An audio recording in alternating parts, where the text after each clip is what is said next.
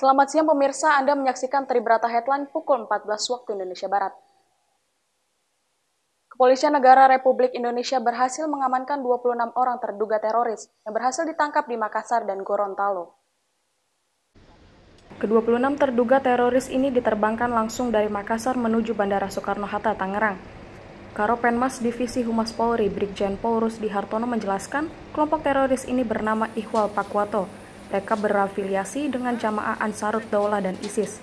Kelompok ini telah melakukan persiapan untuk melakukan aksi teror seperti latihan fisik, memanah, lempar pisau, latihan tembak, dan memiliki keterampilan dalam merakit bom.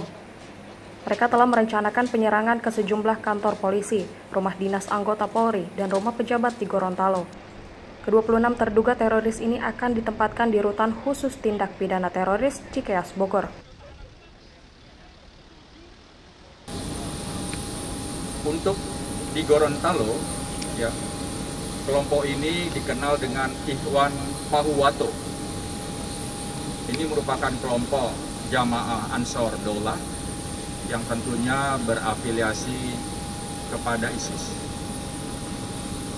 Mereka telah mempersiapkan diri melakukan latihan-latihan fisik latihan bela diri kemudian juga latihan memanah latihan melempar pisau, dan juga latihan menembak dengan senapan angin.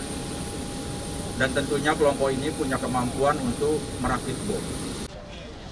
Dari Tangerang, Muhammad Iqbal melaporkan.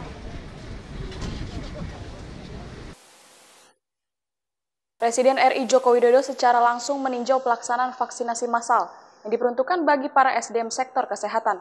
Vaksinasi massal ini digelar di Istora Senayan, Jakarta dengan tetap menerapkan protokol kesehatan secara ketat. Presiden Joko Widodo didampingi oleh Menteri Kesehatan Budi Gunadi Sadikin menjelaskan vaksinasi massal tersebut bertujuan untuk semakin mempercepat pelaksanaan vaksinasi bagi tenaga kerja kesehatan agar pemerintah dapat segera memulai pelaksanaan vaksinasi untuk tahap berikutnya. Hingga saat ini sebanyak 700.266 tenaga kesehatan memperoleh suntikan dosis vaksin COVID-19 Jumlah tersebut mencapai kurang lebih 45 persen dari target sebesar 1,5 juta tenaga kesehatan. Saat melakukan peninjauan, Presiden Joko Widodo didampingi oleh Menteri Kesehatan Budi Gunadi Sadikin tiba di lokasi sekira pukul 13 waktu Indonesia Barat. Sesaat setelah ketibaan tersebut, Presiden langsung meninjau jalannya alur pendaftaran peserta vaksinasi massal, proses penapisan kesehatan, hingga observasi yang dilakukan terhadap peserta yang telah menerima suntikan dosis vaksinasi di meja-meja yang telah disusun sesuai dengan protokol kesehatan yang berlaku.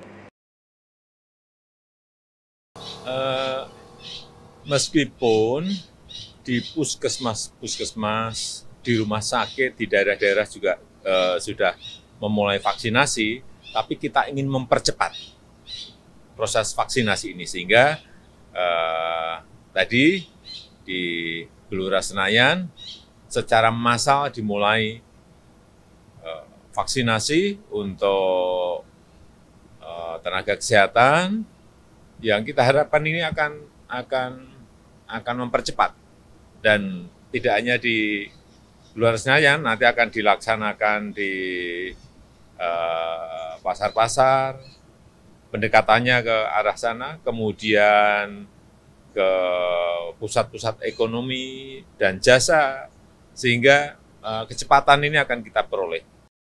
Dari Jakarta, Tim Liputan melaporkan.